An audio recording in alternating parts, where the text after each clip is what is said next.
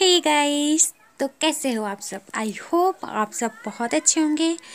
तो welcome to Amit sense channel and आज मैं आप लोग को बचे हुए चावल को भून, किस तरीके से भूनते हैं।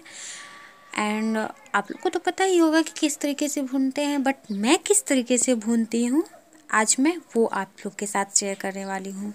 तो आई होप आप लोग के लिए ये मेरा वीडियो हेल्पफुल हो। तो फिर चलिए स्टार्ट करते हैं।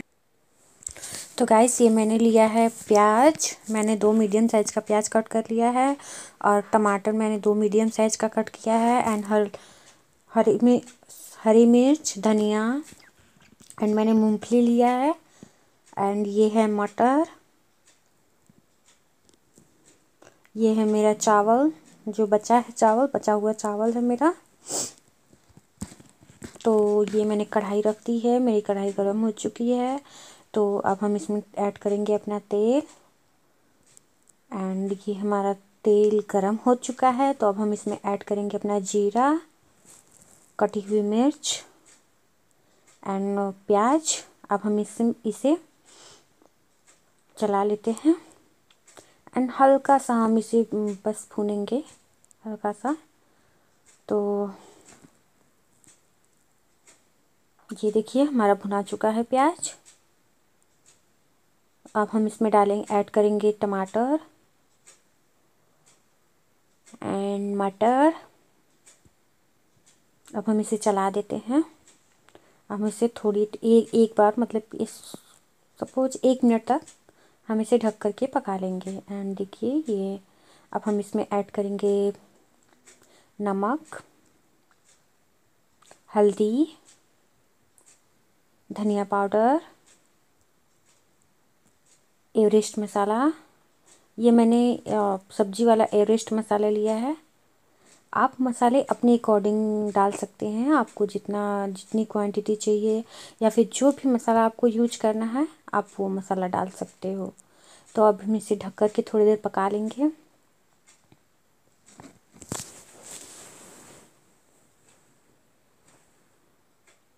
ये देखिए, मैंने अपना चावल भी फोड़ लिया है एंड कुछ इस तरीके से हम अपना चावल फोड़ लेंगे, इस तरीके से। एंड चावल में गुठलियाँ ना हो, क्योंकि चावल में अगर गुठलियाँ होंगी गैस तो अच्छे से मिलेगा नहीं तो टेस्ट उतना हमारा सारा चावल अलग अलग होना चाहिए। तो देखिए ये कुछ इस तरीके से। एंड गाइस मैंने मट मम्मी जी ने बोला कि मुझे मटर की क्वांटिटी थोड़ी ज़्यादा चाहिए तो मैंने मटर थोड़ा और ऐड कर लिया था इसमें। तो अब हम इसे अच्छे से थो, फिर थोड़ा सा और पका लेते हैं। तो ये देखिए हमारी कितनी अच्छी तरीके से पक चुकी है। मसाला तो अब हम इसमें ऐड करेंगे चावल। अब हम इसे अच्छे तरीके से मिला लेते हैं, कुछ इस तरीके से। एंड मिलाते मिलाते ही हम इसे कम से कम दो मिनट तक पकाएँगे। दो मिनट, तीन मिनट आप अपने अकॉर्डिंग पका सकते हैं। इसमें कोई इशू नहीं है तो इस तरीके से। एंड गाइस कोई सजेशन हो, कोई कमेंट हो, कुछ पूछना हो या आपको ये मेरी रेसिपी कैसी लगी तो प्लीज़ गाइस कमेंट बॉक्स में आकर के ज़रूर कमेंट करिएगा और मुझे बताइएगा कि आपको ये मेरी रेसिपी कैसी लगी। एंड ट्राई ज़रूर करिएगा अपने घर में। तो ये देखिए कितने अच्छे तरीके से हमारा मिल चुका है। तो गाइस मेरी मम्मी मूंगफली नहीं खाती हैं तो मैं उनके लिए अलग से निकाल लूँगी। एंड मैं अपने में मूंगफली डालूँगी। मैं और मेरा बाबू तो ये देखिए मैंने धनिया भी ऐड कर दिया है। अब मैं इसे मिला लूँगी। इसे मिलाने के बाद मैं अपनी मम्मी जी के लिए निकाल लूँगी अलग से।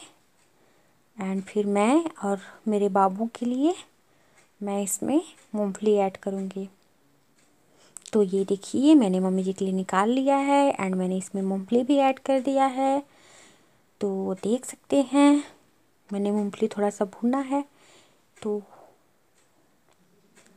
ये देख सकते हैं। एंड गाइस ये काफ़ी टेस्टी है। एंड ये देखिए, ये मम्मी जी का प्लेट है।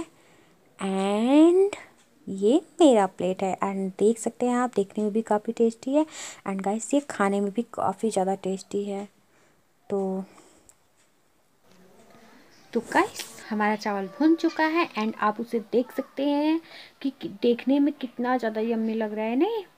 तो आई होप आपके लिए ये मेरा वीडियो हेल्पफुल रहा हो एंड प्लीज़ गाइस ज़रा से भी हेल्पफुल रहा हो तो प्लीज़ मेरे वीडियो को कर दीजिएगा like and subscribe and side में जो बेल आइकन है ना उसे भी प्रेस कर दीजिएगा ताकि मेरी जितनी भी वीडियो आने वीडियो की आने वाली नोटिफिकेशन आपको मिलती रहे। तो फिर चलते हैं किसी नेक्स्ट वीडियो में मिलते हैं एंड uh, आप लोग सोचे होंगे मैं आप लोग समझ सकते हो। आप लोग भी ठंड में हो, मैं भी ठंड में हूँ तो ऑब्वियसली ये गेटअप तो ज़रूरी है ना। तो फिर चलिए किसी, तब तक के लिए bye bye see you soon